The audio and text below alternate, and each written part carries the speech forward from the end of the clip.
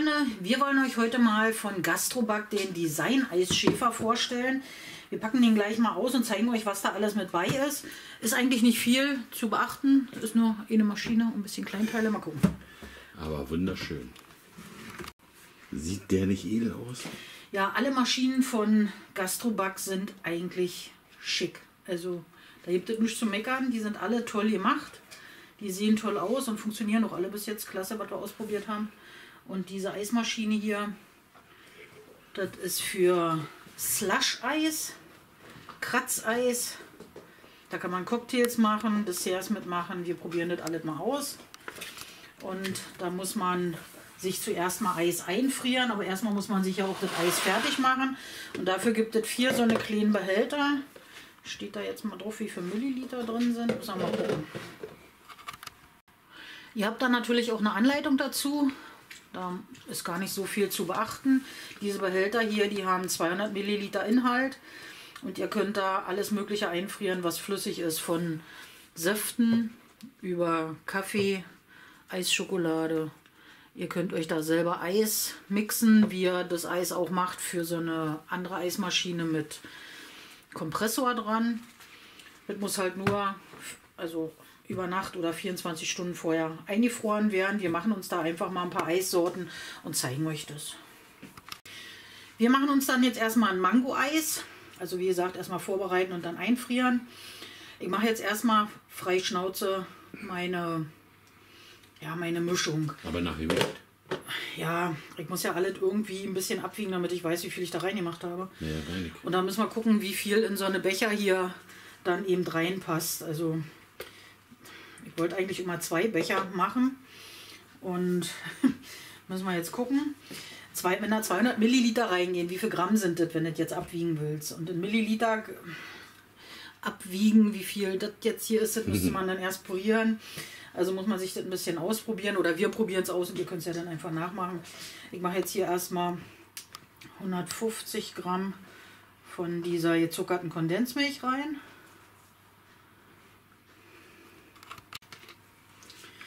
Dann mache ich da auch noch mal 150 Milliliter oder Gramm an Milch rein. Hier es 170. Und jetzt Mango, die schneide ich mir klein und mache mir die dann da auch rein.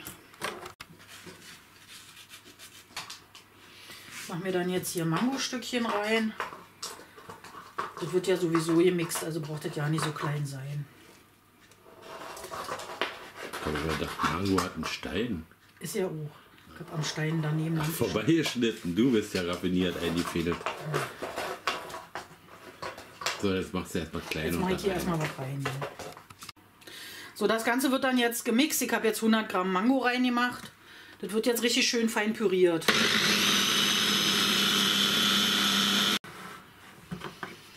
So, jetzt haben wir hier so ein ganz feines, ja, Mousse ist es nicht. Mousse oder sowas ist es nicht. Das ist jetzt so eine feine Flüssigkeit. Und das können wir dann jetzt einfrieren in die Becher hier. Mal gucken, wie viel wir damit voll kriegen. Schnuppern tut es jedenfalls gut. Riecht schön nach Mango, so sollte es ja auch sein, ja.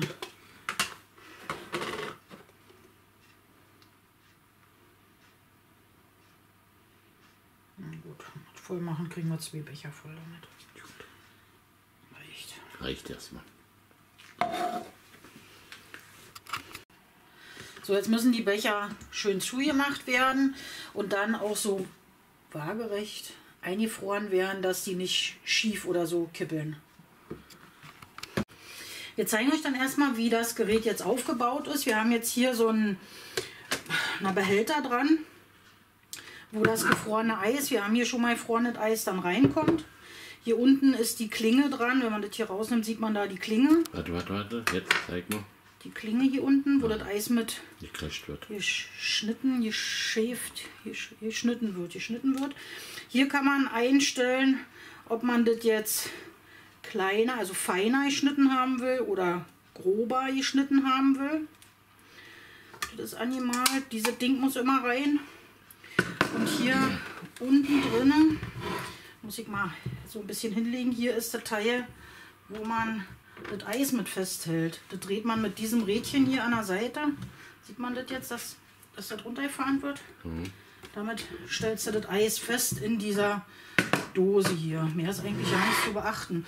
Und dann hat man hier den An- und Ausknopf, den man so lange drücken muss, wie man das Eis Frisch. schneiden möchte.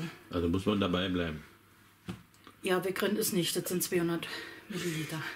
Na los, zeig uns, wie es geht. So, wir machen uns jetzt das Eis hier rein. Also diese Teil muss da immer rein.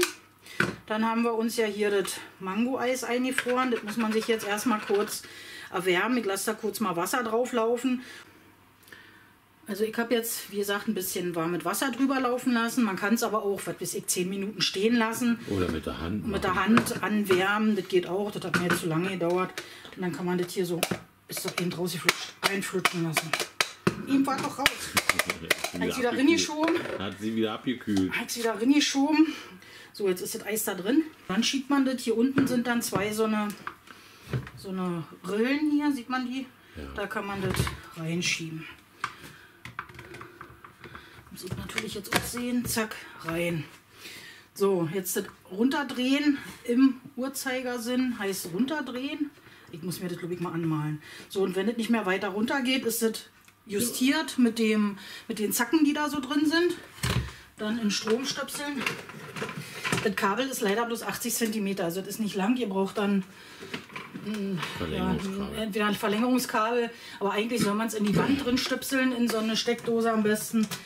Ach, da habe ich aber alle zugebaut. So, jetzt hat man das Problem, jetzt muss man hier einen Becher drunter kriegen, den man voll machen kann. Jetzt weiß ich nicht, ob das schon mal geht. Ich probiere es einfach mal. Ja, da muss man halt den Becher ein bisschen drehen.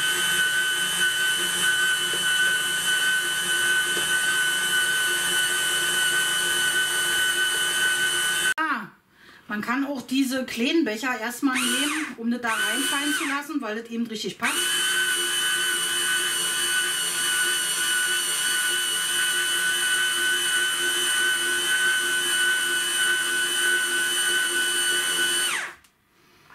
Ist das cool.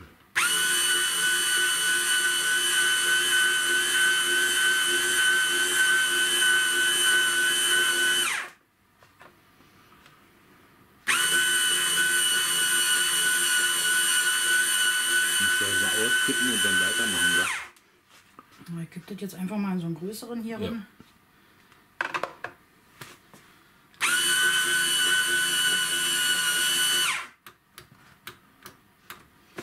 Fertig. Schon fertig.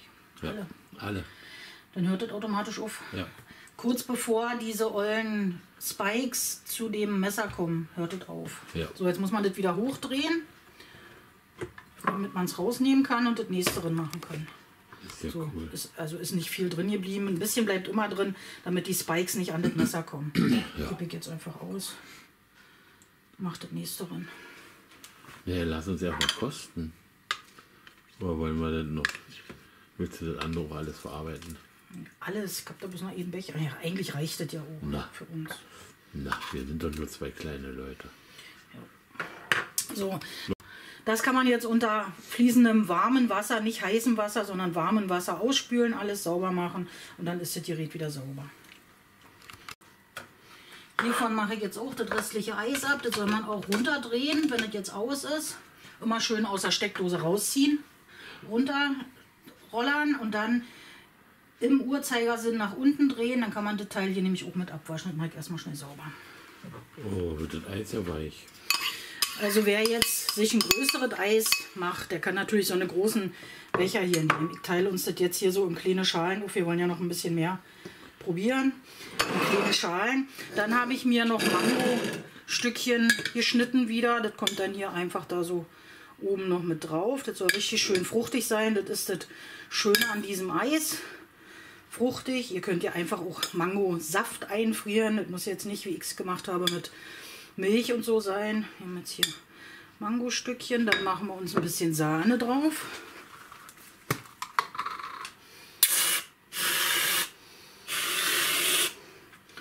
So, dann kann man sich Schokostückchen oder sowas drauf machen oder ähm, Schokokekse oder ich habe hier immer mal so ein bisschen geriebene Oreo-Kekse. also zermahlene Oreo-Kekse, die man dann so hier schön drauf streuen kann. Für mein anderes Eis schon immer, habe ich das immer im Haus. Die zermahle ich mir immer mal, wenn das Glas alle ist, mache ich wieder neue. Und dann noch ein bisschen Schokosoße. Und dann ist das Eis fertig. Sieht das nicht cool aus. Ja. So. So, und irgendwann haben wir uns mal so kleine Schippen gekauft als Löffel bei Temu irgendwo und wir werden jetzt das Eis in uns reinschippen. Schaufeln. Reinschaufeln. So, jetzt, das muss ich jetzt probieren. Ich habe es ja auch noch nie gegessen. Ach so, ich muss hier gucken. Mhm. Mhm. Leute. Das ist lecker, wa? Ja. Tja, wir gehen dann jetzt Eis essen erstmal. Ihr könnt da jetzt auch Eiswürfel reinmachen und die hier reinschieben. Ich das jetzt wieder hochgerollert. Ja. Reinschieben. Wieder festdrehen. Die Stellschraube so stellen, dass man ähm, kleine oder große Flocken kriegt, wie man haben möchte. Und dann kann man sich das nämlich für irgendein Getränk klein hackseln lassen. Machen wir jetzt mal.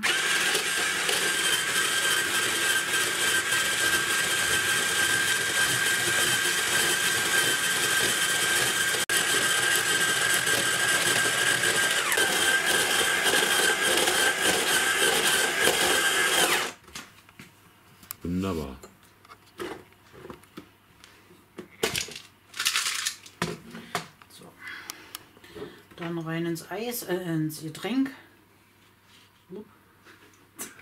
So, und jetzt hat man hier so Eis, Eis drin. Perfekt. Cool. Cocktail. Ja, für Cocktails und sowas.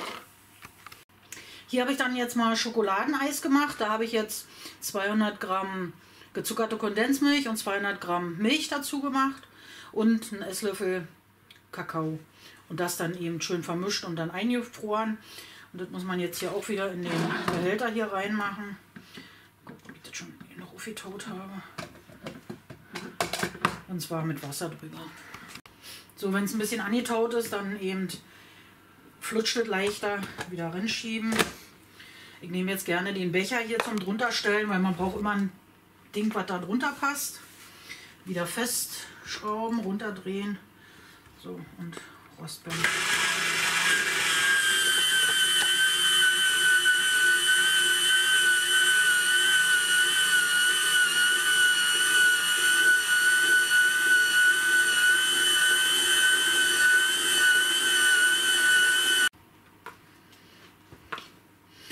Dann das Eis wieder in einen Eisbecher tun und dekorieren. Wir dekorieren jetzt mal wieder mit ein bisschen Sahne. Ein bisschen Sahne. Dann haben wir hier diese gemahlenen kleinen Kekse. Die Krümel da drüber. Und dann habe ich noch Oreo-Kekse. Hier habe ich noch richtig kleine Oreo-Kekse. Oder Schokokekse eben. Die kommen da noch mit drauf. Oh. Cool. Und ein bisschen Schokosoße. Das ist wichtig. Das ist wichtig. Und dann ist das erste Eis fertig. Perfekt. So, lecker.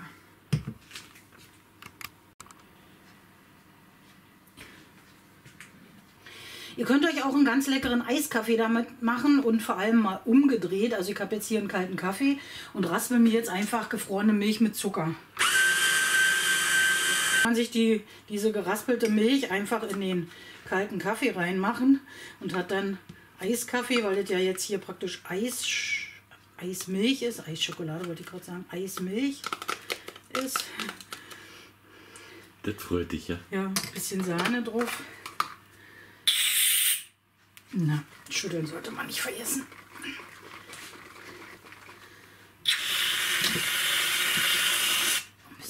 Sahne drauf, ein bisschen Karamell oder Schokosoße. Ein bisschen Karamellsoße drauf. So. Und schon hat man einen ganz leckeren Eiskaffee. So ihr Lieben, das sind jetzt richtig tolle Sachen, die man damit machen kann. Ihr habt ganz viele Möglichkeiten. Ihr könnt ja auch noch Säfte einfrieren. Einfach nur Wasser einfrieren, hat man ja gezeigt. Und ist eine coole Möglichkeit, damit was zu zaubern. Leider sind die Becher nur 200 Milliliter, also ihr müsst dann immer die Becher wieder austauschen, neue reinmachen, aber für zwei Personen reicht das eigentlich völlig aus. Für eine größere Familie ist das ein bisschen klein. Aber ansonsten macht es Spaß, damit ein bisschen rum zu experimentieren. Schaut euch das auf der Seite mal an. Ich verlinke euch das am besten, damit ihr da mal in den Shop reinschauen könnt. In diesem Sinne, bleibt weiterhin neugierig und schaut wieder bei uns rein. Denn wir zeigen euch immer wieder die neuesten und tollsten Sachen, die wir finden oder machen.